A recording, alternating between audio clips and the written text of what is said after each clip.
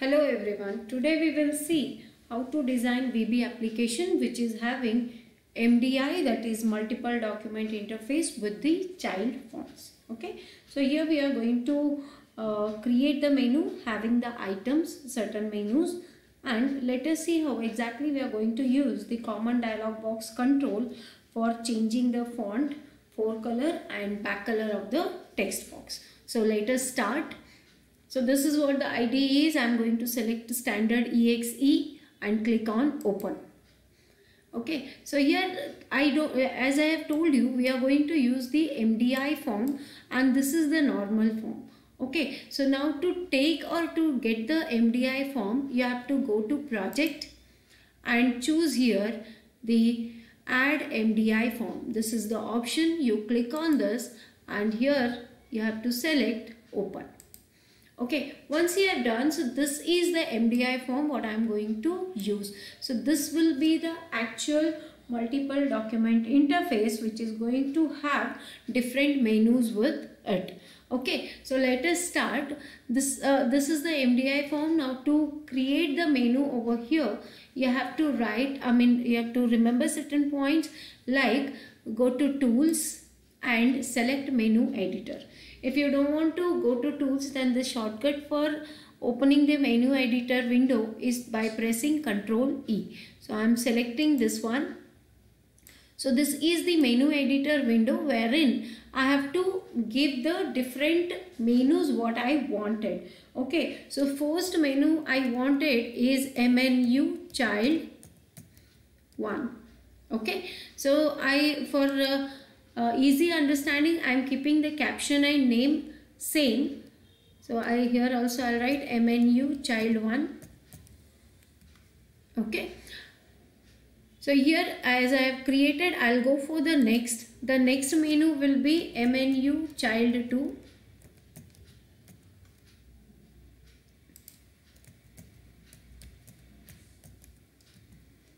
okay so the reason why i am keeping caption and name uh, same it is because while writing the code there will not be any confusion.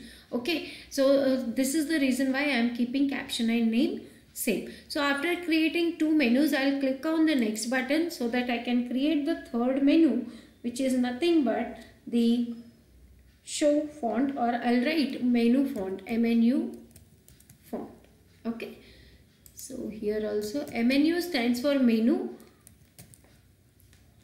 And then next again here I'll go for the next menu called mnu fore color. the same thing you can write it in the name also. If you want you can change the name as well as the caption also but the thing is while writing the code you should remember what exactly is the caption as well as the name. Okay so this is the reason why to avoid the confusion I am writing the same name for the caption as well as the name. And one more uh, one that is MNU back color.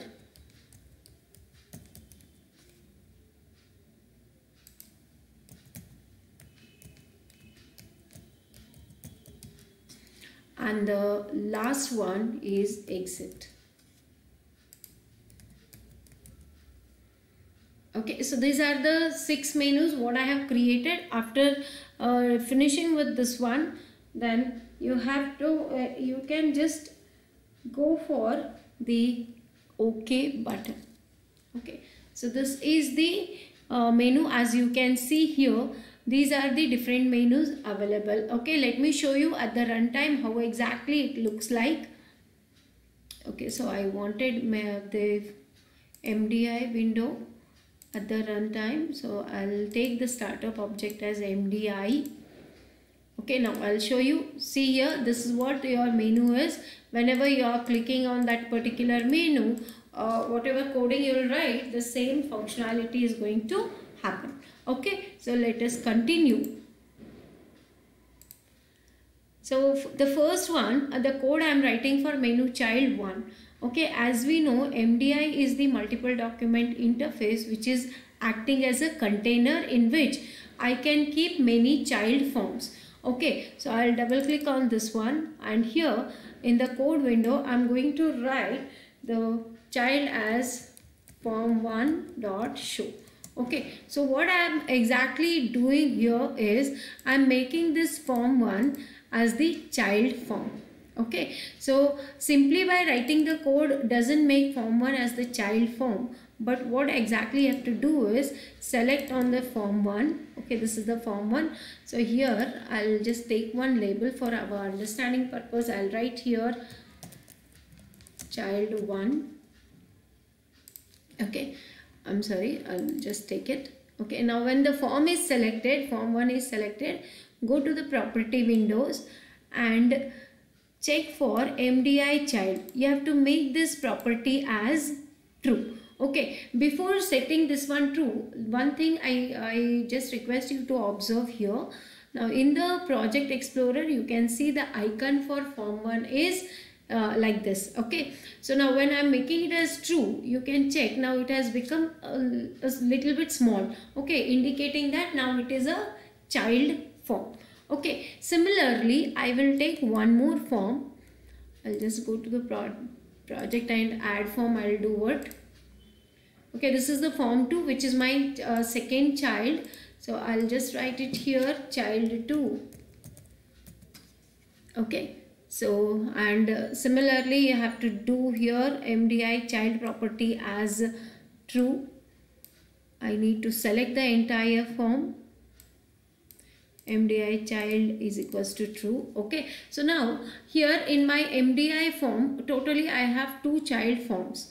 Okay. So the work of this form 1 and form 2 is done. So I'll close that one. So coming back to the MDI form.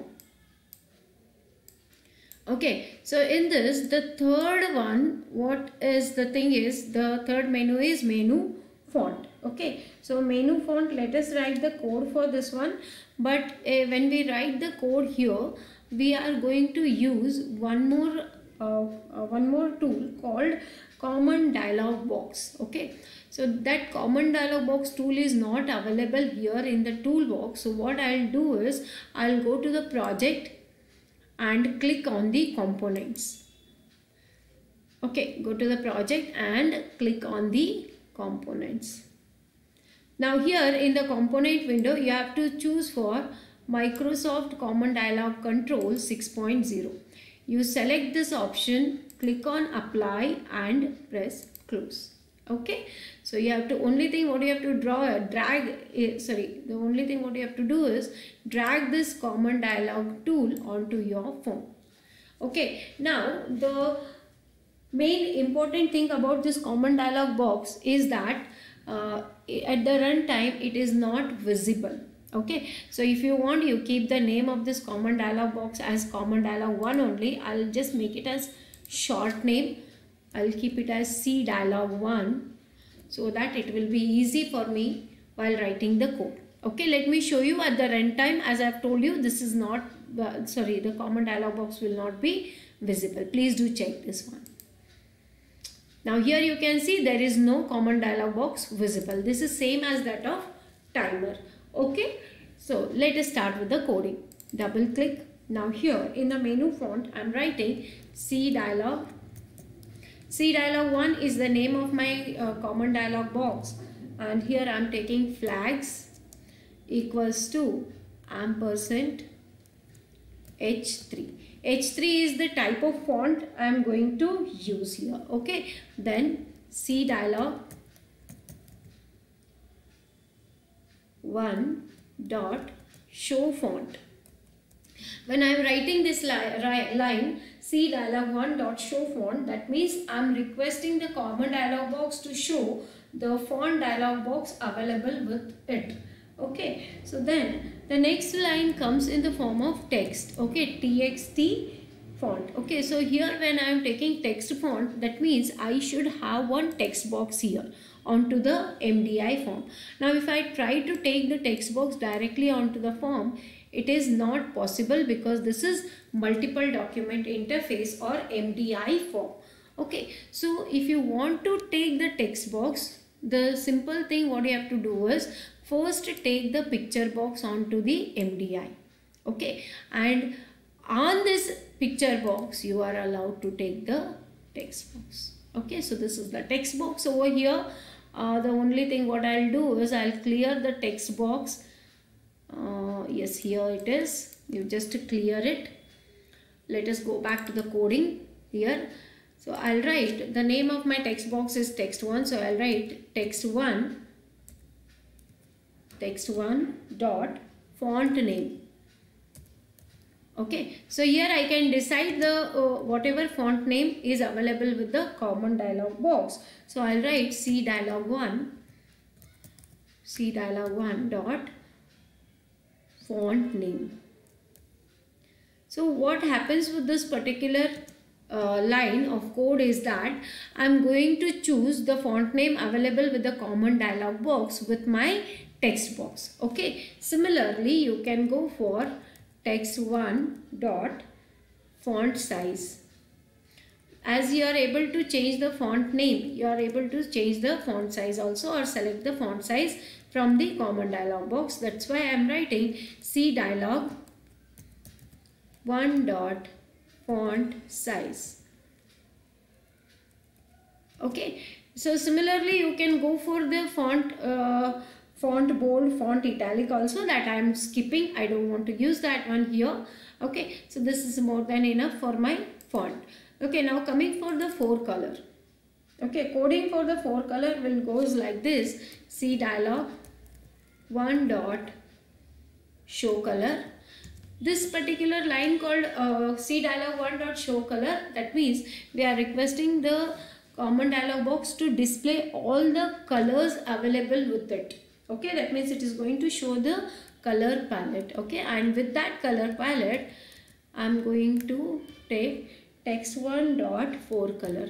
That means i'm uh, going to change the fore color of my text by using this common dialog box color so i'll write here.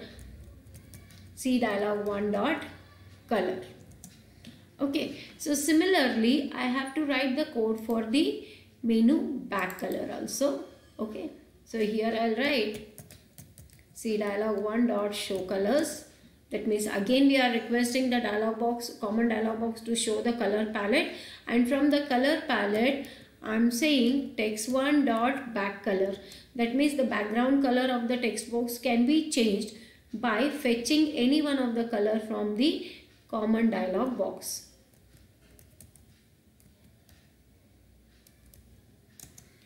Okay, so this is the coding. Now there is one more code remaining. I'll just do it. It is the simplest of all the codes. Only thing what you have to do is you, you have to write unload me. Unload me is more than enough. Yes. Okay, now let us see. This is what about the coding as well as the design part is. Now let us see about the execution. Okay, so let me click on the execution button. So now here you can see uh, this is what our output window is right? So when I click on the MDI child 1 you are able to see that the form 1 is being displayed. Now as I have told you when we were discussing about the concept of multiple document interface I have told you that the child window the child form cannot be dragged okay? Because MDI is acting as a container. I'll show you. If I wanted to drag this form outside the MDI. Check here. If I wanted to drag, it is not allowing me to drag it outside the frame of the MDI. Okay. Similarly, you can, when you are clicking on menu child 2, it is going to display the menu child 2. I don't know what happened. Let me check it. Okay, sorry, I have not written the code only. Form 2 dot show. Okay, so let us do it. Now see here the same thing. If you wanted to drag this child window out of the MDI container, you are not allowed. Okay, then let us see the third menu called menu font. Okay, for changing the fonts, let me type some text in the text box. So here I'll type Visual Basic okay. So now when I wanted to change the font of this particular text I have to just click on this menu font menu.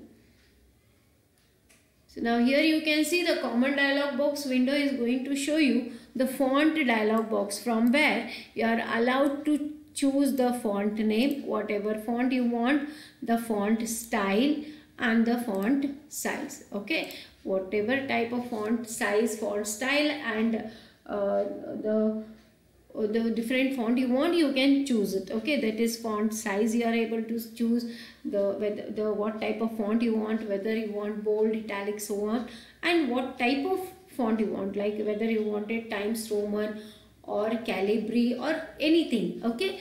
So this is about the font menu. Now let us see how to change the fore color of this text by using fore color menu you just click on this fore color menu which is going to show you the color palette now this is the color palette so you can choose any of the color so that you are able to change the fore color of the text now here i have changed it I hope you have uh, observed what I have done.